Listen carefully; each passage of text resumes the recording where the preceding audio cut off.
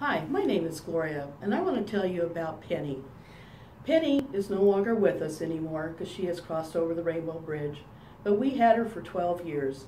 And if it had not been for Hannah and all her injuries that she had, and they did the best they could to help her in any time that she was sick or injured, we would not have had her for as long as we did. And we are so proud of Hannah and all the stuff that they have done for her.